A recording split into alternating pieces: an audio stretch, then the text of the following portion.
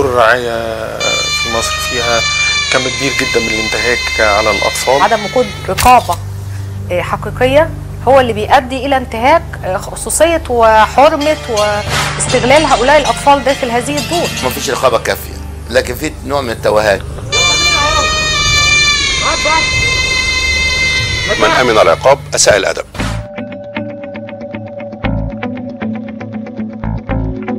معلومة عابرة. عن قيام بعض الأحداث بترويج المخدرات بين طلاب الجامعة بمدينة السادس من أكتوبر التقطها فريق عمل البرنامج ووضع لها خطة عمل استقصائية أسفرت عن مفاجآت من العيار الثقيل.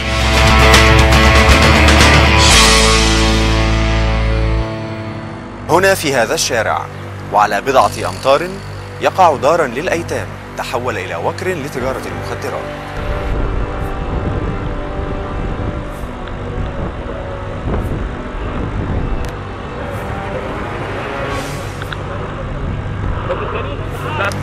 بص أنا هقول لك سمي الله بس أقول لك العيال دي راجعة بعيال. يلا. سمي الله. استطاع فريق البرنامج أن يصور بكاميراته السرية عملية بيع وشراء المخدرات التي تمت على أسوار هذا الملجأ في ظل غياب أمني تام وفي وضح النهار.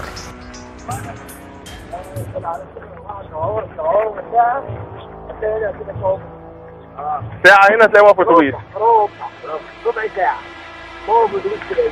مواصفات لا ما هم بصراحة ريحوا ناس كتير اصلك يعني. بدل ما كنت لسه بتكلم بقى الديلر وتروح له ويقابلك وبتاع خمس دقايق الواحد بيجي ويمشي؟ هم برضه ما كان زمان كان زمان الحكومة جت يا باشا من زمان ده إحنا بنيجي هنا على طول. كل الدنيا فل وكنا إحنا بنجي آه جايبينهم في حال بالك كلها ولا هناك يا عم. ما هم شايفينهم كنا جايبينهم في حال شايفينهم يا عم خلوهم يسيبوهم يا عم. هو أنتوا بتبصوا يا جماعة لما تقعد عليهم وإحنا نتسوى آه سيبوهم. ده مالك آه. يعني في بعد كده بقى فوق. مفيش. آه بس اهو. هتيجي الحكومة هيسيبوا الملكة وهيجوا ياخدوا يبقوا يبقوا يبعتوا لهم سنتين وبيطالع الدنيا يعني. لا لا لا يا عم اللي شغال انت ومطلع ده بشغل النهار ده هو في الشغل واحد الخرده دي بيشتغل عندي. يجي ياخد له شباك. لا اخد لك والله. يا عم بس بالامانه برضه الحاجة بتاعتهم حلوة الكارتة بتاعتهم حلوة هنا. بس هي إلا. آه يا عم الخرده واحد بقى يسمعنا في الولاعه إيه؟ ولاعه آه وشدته يا باشا والله ما عرفت لسه يعني ما لسه صاحيين منهم خدها هنا. تاني مرة دي. تاني مرة مديها لك. برافو عليك بصباح عزيز دي لما ده اسمه شادي نسي دي وشعبان بزازة لسه جاي يعني ولسه هيقطع فين أخوك يا احمد ربنا اللي قطع الراجل. احمد ربنا.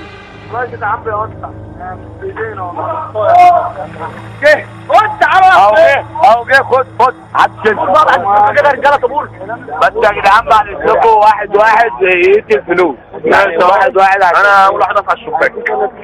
لا مش أنا مش أنا. اخد أنا ما أخدش فلوس من حد. مين اللي هياخد الراجل اللي هيتعامل معاكم واحد واحد يا جدعان عشان ده ما بيحب الصداع. الراجل اهو جه آه آه تعالى عشان أوريك.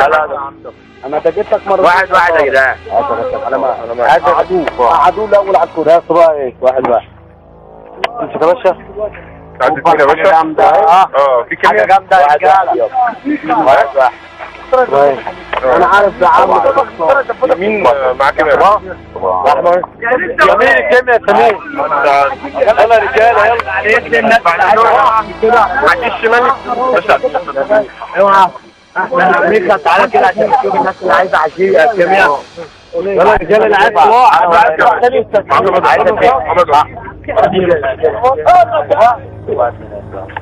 سمير. نص شريط.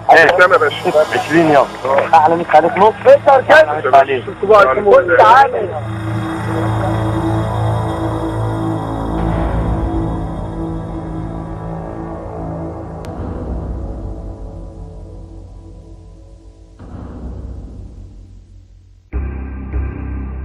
ده يعتبر نوع من الجرم ال- المجتمعي.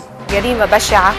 في حق الإنسانية. أنا شايف ده أكبر انتهاك بيتعرض ليه الطفل حتى اللي بيبيع نفسه وأنا هذا الطفل لو كان لقى رعاية في إعادة التأهيل والدمج زي ما اتكلمنا قبل كده وفي وجود نشاط رياضي ليه في وجود نشاط فني في وجوده في التدريب المهني في وجوده ما كانش واقف آه، باع آه، على ال- على سور ال- الدار آه، مخدر أو أو حتى أي انتهاك حصل له. تكمن خطورة دار أيتام أم القرى في موقعه الجغرافي. حيث يحيط به مدرسة وحضانة تابعة لنفس المؤسسة الخيرية بالإضافة لوجود مدرسة خاصة للغات في نفس المربع السكني. فضلا عن قربه من جامعة 6 أكتوبر الخاصة التي تبعد نحو 2 كيلو مترا والمفارقة التي تكشفها خريطة موقع الدار هي وقوع قسم نجدة 6 أكتوبر على بعد ما يقرب من كيلو متر واحد. ويحتفظ برنامج لازم نفهم. بكافة المعلومات المتعلقة بأصحاب الدار للجهات المعنية. غياب رجال الشرطة أو الرقابة أو الأمن آه، في هذه المنطقة يدفع إلى التمادي في هذه الظاهرة. لكن قبل ما نقول غياب الشرطة هناك غياب الدور المنوط بالأخصائيين الاجتماعيين والدور المنوط بالإدارة. المفترض ان إن الدور الرعاية دي مش بس بتر- بتراق- بتراقب لا بتقوم بدور أقوى من كده وهو إعادة تأهيل الطفل ودمجه في المجتمع مرة أخرى. إزاي ده الدور ده يتم لو حصل انتهاك للطفل بقى؟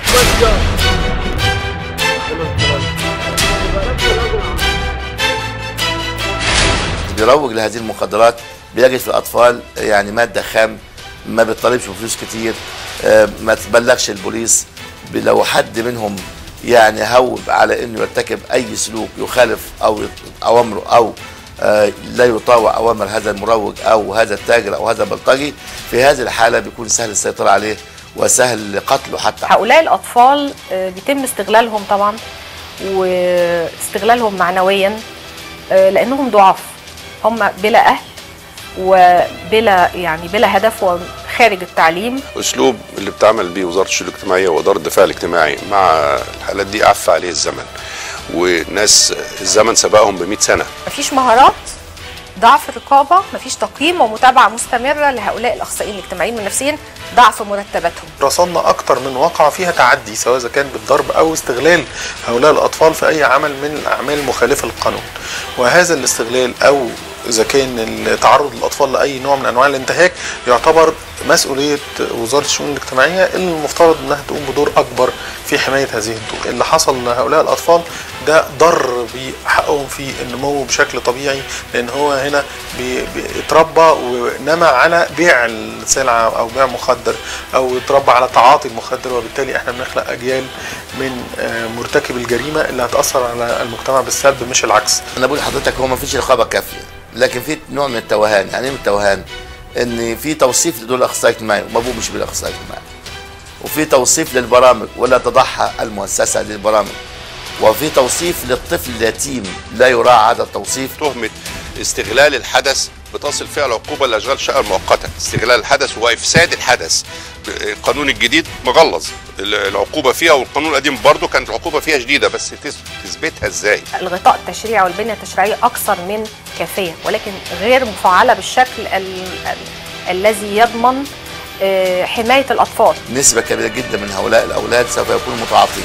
مجمع أم القرى الخيري تأسس عام 1992 على مساحة تقدر ب 13 ألف متر مربع خصصتها الحكومة لمؤسس الجمعية لإقامة نشاطه الخيري المتنوع والذي يضم دارا لرعاية الأيتام الذكور. الحقيقة هذا المكان لو بالفعل زي ما حضرتك بتقول آه، يتعين أن يتم غلقه فورا ومعاقبة ال- المقصرين آه، وتشديد العقوبة لأن ده ظرف مشدد. المخدر يغيب العقل وبالتالي قد يرتكبوا جرائم جنسية متصلة بالنوع. ده طبعا بيؤكد إن هؤلاء الأطفال أطفال معرضين للخطر نتيجة عدم وجود عائل لهم وعدم وجود أسرتهم ووجودهم في مكان فيه ضعف رقابة. في انحراف ومفيش تقويم ليه وفي إفساد من زمايل وفي استغلال من موظفين. كل الحاجات دي بتديك النتيجة اللي انت بتشتكي منها.